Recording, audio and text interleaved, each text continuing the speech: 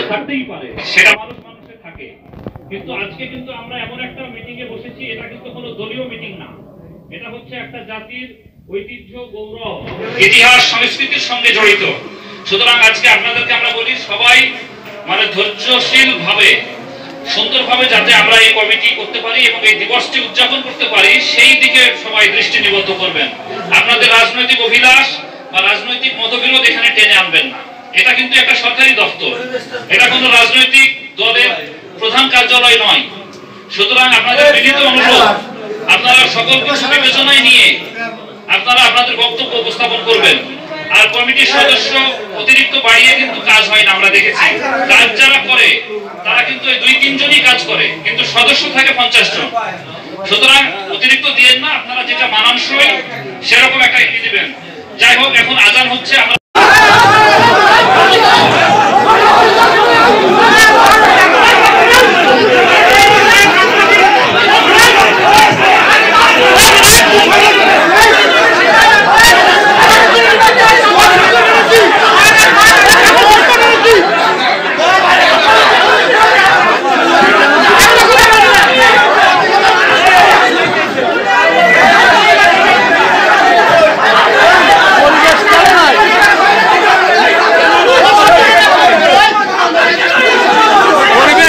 উপস্থিত থাকতে পারেননি আজকের সভায় তো আমরা আপনারা জানেন যে আমাদের করোনা ভাইরাস আমাদের উপজেলা স্বাস্থ্য কমপ্লেক্স রাজুরে শুরু তো আমি সকলদের এই প্রাণের দিবস উদযাপনের জন্য আপনারা আমাদের ডাকে সাড়া দিয়ে যেটি বলছিলাম, আগে একটি মেসেজ দিই, সেটি হচ্ছে আমাকে বারবার বলা হয়েছে এখানে করোনা ভাইরাসের টিকা এসেছে এবং আপনারা এই রেজিস্ট্রেশনের জন্য লাগবে হচ্ছে ন্যাশনাল আইডি কার্ড নাম্বার এবং হচ্ছে মোবাইল সদে আর হচ্ছে আমাদের ঘোড়া হলে একটি সেন্টার আছে। যারা চল্লিশ নাগরিক সিটিজেন এই দেশের, তারা আপনারা সকলে নিবন্ধন করুন। বিশেষ এই টিকাটা নেওয়া খুব জরুরি। এবং আপনারা যদি টিকা প্রদান কেন্দ্রে স্থাপিত যে বুথ আছে, সেখানে যদি উপস্থিত থাকেন তার নিজ এলাকায়, তাহলে এমপি স্যারও যাবেন সঙ্গে এবং উপজেলা পরিষদের এমপি স্যার, সাধারণত মাননীয় সংসদ সদস্য যারা, তারা এলাকায় থাকেন না, তারা সম্ভবত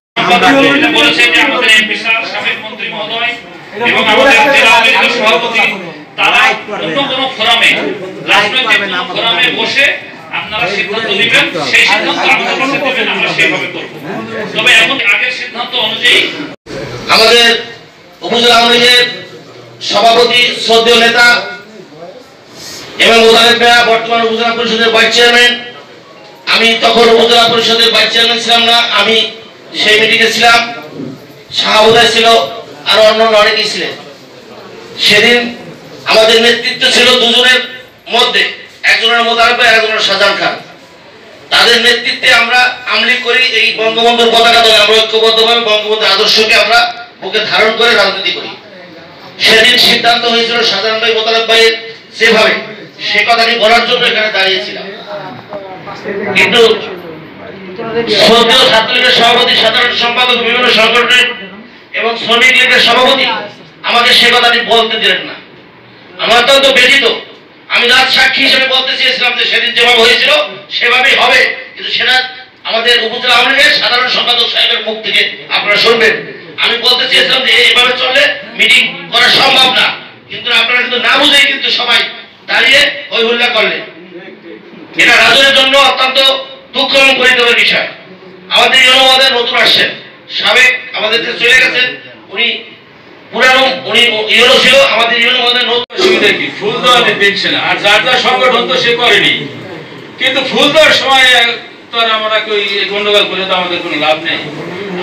বলতে চেয়েছিলাম, যে যেভাবে আছে, যেভাবে তালিকা আছে, সেই তালিকা অনুযায়ী আমি মনে করি ফুল দেওয়া হোক, আর সামনে এই কমিটি নিয়ে যদি কোনো আগামীতে আমাদের সাবেক মন্ত্রী মহোদয় আছে আমাদের জেলা সভাপতি আছে এদেরকে সমন্বয় মিললে যদি মনে করে যে একটা কমিটি করলে সমাধান হইলে ভালো হয় রাজনের রাজনীতিকে ধরে রাখার জন্য এটা ভালো হয়।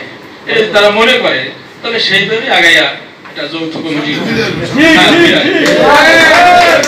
এইটাই আমি কইতে চেয়েছিলাম কি বলতে চেয়েছিলাম কিন্তু আপনারা সে কিন্তু বলতে দেন নাই। যেটা বলতে চান নাই আপনারা যুবক যুবকের কাজই করছেন। যাই হোক, সামনে আমি মনে করি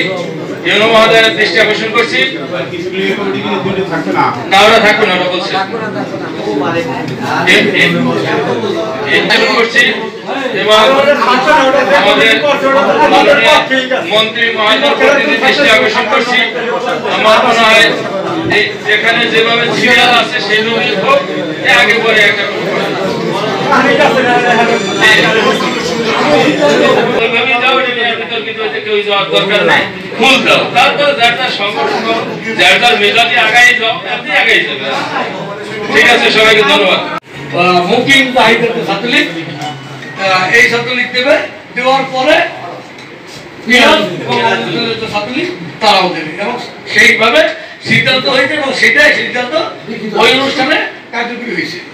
হওয়ার পরে হওয়ার পরে এইবারে এসে এসে এই সিদ্ধান্তের ব্যাপারে আমাদের ভিতরে আবার বিরোধ দেখাতে হবে এবং বিশৃঙ্খলা তৈরি হবে। এখন আমার কথা হলো যে একটা কনস্টিটিউশন যদি একবার হয়ে যায় রাষ্ট্রীয় কনস্টিটিউশন আমরা বলতে পারি যে যেহেতু সভাপতি সম্পাদক চেয়ারম্যান এটা সব এবং ইউনো মহোদয় ওসি মহোদয় এবং ওই মুক্তিযোদ্ধা কমান্ডার সব আমরা তো ছিলাম এদের সমন্বয় আমরা সিনিয়র নেতৃবৃন্দের সমন্বয়টা সিদ্ধান্ত হয়ে গেল। সেই সিদ্ধান্তের ব্যাপারে আইসা যদি এক বছর পরেই সেটার ব্যাপারে আবার বিরোধিতা করি আমরা। তাহলে আমাদের এই বিষয়টা সুবিস্তার আমি